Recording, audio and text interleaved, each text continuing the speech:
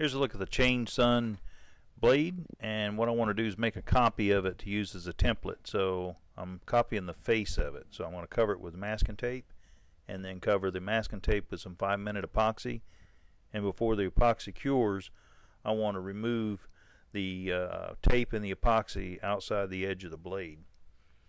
Then I'm going to take and mark the blade uh, template so that uh, I wind up with a cut line for the leading edge and here I've removed the epoxy template from the blade and I'm going to take the Dremel tool and actually trim back the uh, leading edge.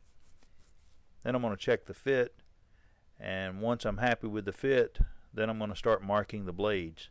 I'm going to start with this number 8 blade and uh, I'm going to mark the leading edge of the blade and then mark right down the edge of the epoxy template and I'm just going to fill in the gap between the two marks.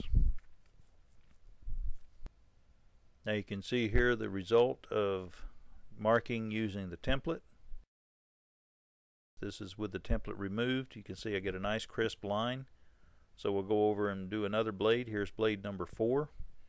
Again using the epoxy template for marking and then remove the epoxy template and that's how the uh, the finished marking looks. Now yesterday I did the basically the same thing but I used a cardboard template shown here on the left and the results are up above the template.